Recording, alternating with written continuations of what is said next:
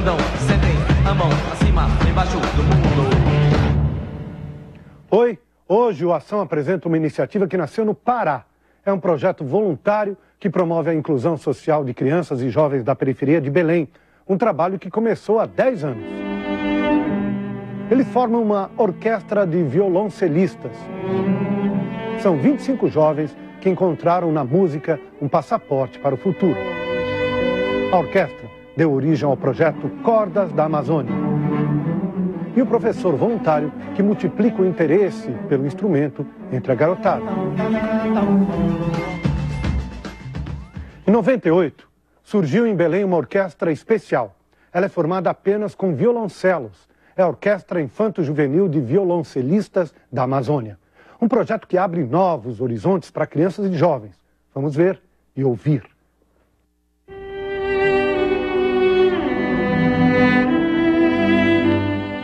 A melodia vem da alma. Ganha vida pelas mãos. Faz nascer uma orquestra que toca paixão pelo mesmo instrumento. Acho que o violoncelo é a minha vida. É tudo isso e mais um pouco. Sem a música na minha vida, eu acho que com certeza eu não seria uma pessoa incompleta. Porque quando eu toco, eu me sinto feliz, eu me sinto alegre, eu me sinto realizado. 25 crianças e jovens de Belém, no Pará, comemoram os 10 anos da Orquestra Infanto Juvenil de Violoncelistas da Amazônia. Através da música, do violoncelo, eu passei a ter contato com a universidade, passei a ter interesse em fazer um curso, uma graduação. Fiz, eu acabei passando nos, nas duas universidades, tanto da estadual como da federal. E uma para música, outra para economia. É muito bom estarmos participando da orquestra. Eu posso dizer também pelas minhas outras é, colegas, porque depois que nós entramos, é, nós tivemos mais facilidade em pegar outras músicas, até porque ajuda bastante na habilidade. A orquestra foi criada por Áureo de Freitas, professor e doutor em educação musical.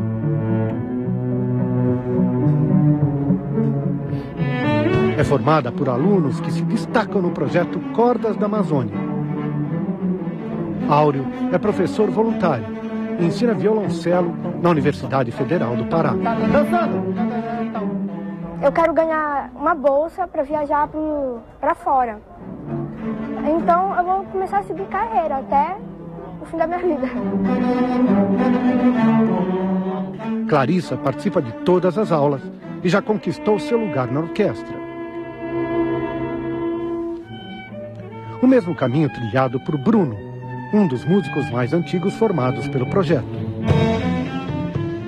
Eu nunca tive é, dinheiro para pagar uma escola particular para violoncelo ou então pagar um professor. Sempre foi correndo atrás disso. Isso eu agradeço cada vez mais ao violoncelo também e à pessoa do Áureo por, por ter dado essa oportunidade, por estar dando para as outras crianças que estão entrando agora. Para dar apoio ao projeto, foi criada uma academia cultural, entidade sem fins lucrativos. A gente também queria fazer um, um polo assim em vários bairros da cidade.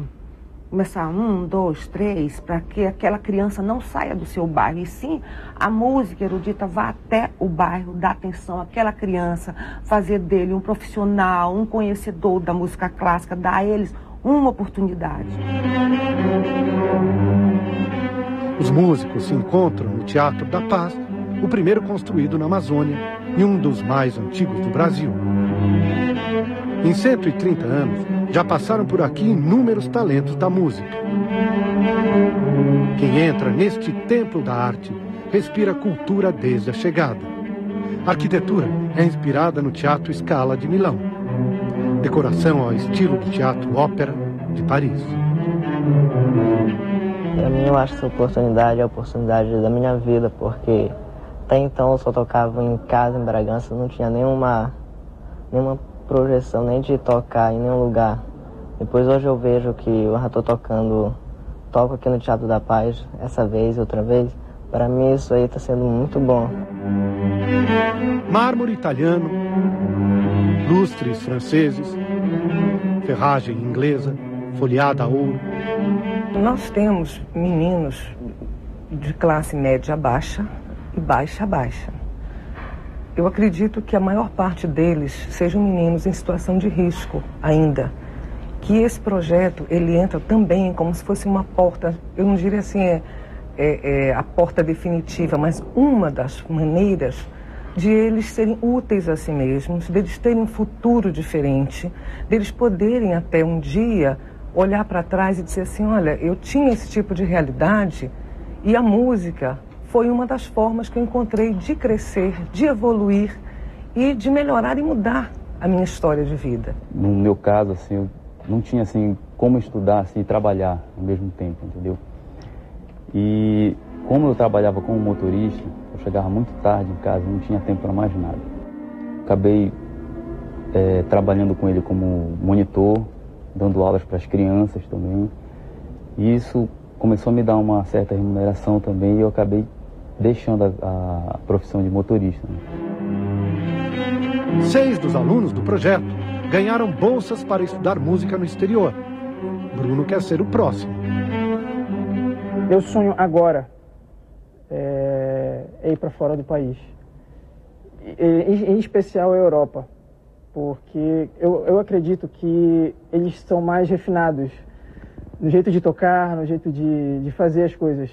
E outro sonho que eu tenho também é tocar bem o violoncelo, aprender bem isso.